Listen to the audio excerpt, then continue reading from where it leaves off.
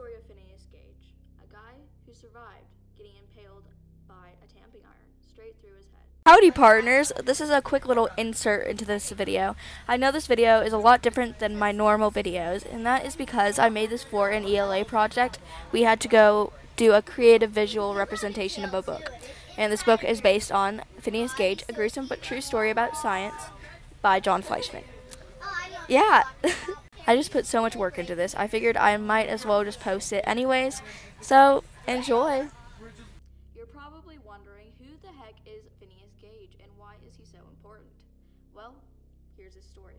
It all happened in Cavendish, Vermont, September 13th, 1848. At the time, Phineas was only 26 years old. He had a good job, he was the boss of a railroad working company, and he had a mission to go through.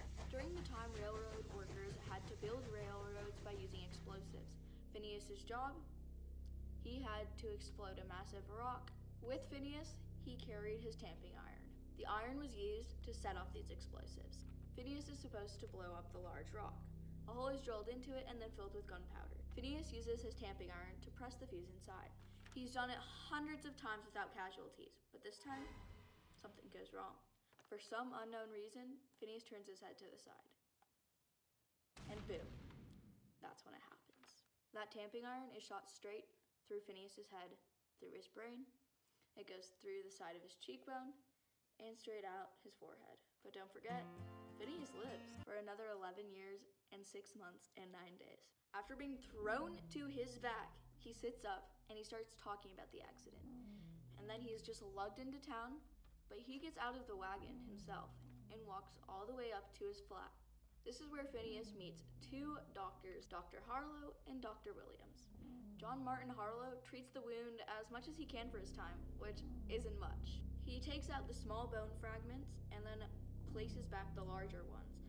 He cleans the area of the skin and then he tries to peel back the skin back into place.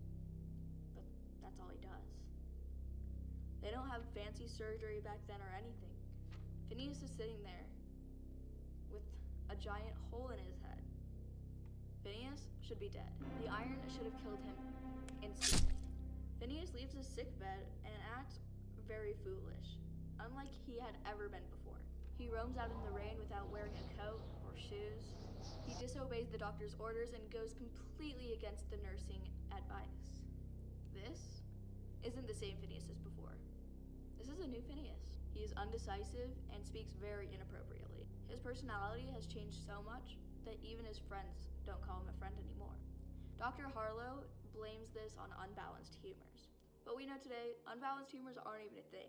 We now know today that the rod hit through his frontal cortex. This is the part of the brain that makes sense of emotions. Sure, Finney is healed, but all of his social skills seem to be forgotten. His only companion was his tamping iron. He had no friends, just his iron. He's changed so much so that people even question whether he can be considered human or not. Now, while that is a big stretch, people wonder what makes us human.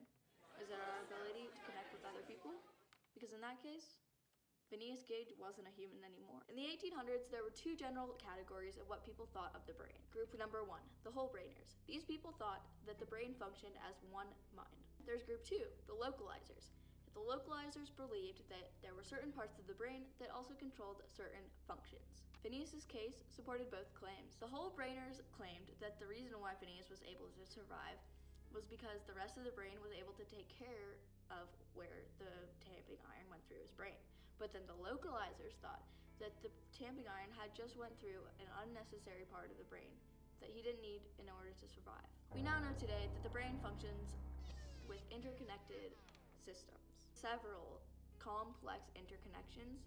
Certain parts of the brain control certain functions. Phineas didn't work the best with people, as you can imagine. He was a lot better with animals. In fact, he was very, very good with horses. In 1852, after Phineas is all healed, he decides that he wants to move down to Chile to be a stagecoach driver. He does this for about seven years until he shows back up mysteriously at his parents' door. His mother had claimed that Phineas was in feeble condition. Phineas believed he was well enough to get another job, and he decided to work at a farm as a plower. But a few months later, Phineas came back home and experienced an epileptic seizure. Now, an epileptic seizure is a side effect He has more than two that same amount of time. But remember in 1860, no one knows how to control them. Phineas goes back to work, but he comes back home again. It's May, and he has one epileptic seizure after another, after another, after another. until they all finally kill him on May 21st, 1860. He ended up dying of hypothermia. While he was in these seizures, his body couldn't control his body heat and he ended up freezing to death. His story doesn't spread around, and since the Civil War is coming up, doctors have a lot more to focus on. A few months later, Dr. Harlow contacted Phineas' mom and got his skull. Dr. Harlow used this to study, and now the skull is located in Harvard Medical School. How is Phineas' story important to us now? Medical and neurology students study his case a lot to learn about the lobes of the frontal cortex. In 1994, renowned brain researchers, the Damasios, decide to look further into Phineas' case. They unfortunately see a lot of cases like Phineas's. Hanna Damasio came up with a way to reconstruct Phineas's skull electronically. This way, we could see exactly how the tamping iron looked when it went through his brain. Using x rays, photos, and exact measurements, she created it. She ended up calculating 16 ways that the rod could have entered his brain. Anatomical evidence rules out nine of these. Of the seven remaining routes, two would have hit life dependent blood vessels. The Damasio team narrowed all the routes down to one, and the images could make anyone cringe. In the book written by John Fleischman, he says Phineas Gage was lucky. His accident was terrible. It changed him into someone else. And yet, Phineas figured out how to live as that new person for 11 years. Personally, I think the accident was unlucky, although him surviving was one of the most lucky things that could have ever happened. Decide for yourself. Was this accident lucky or unlucky?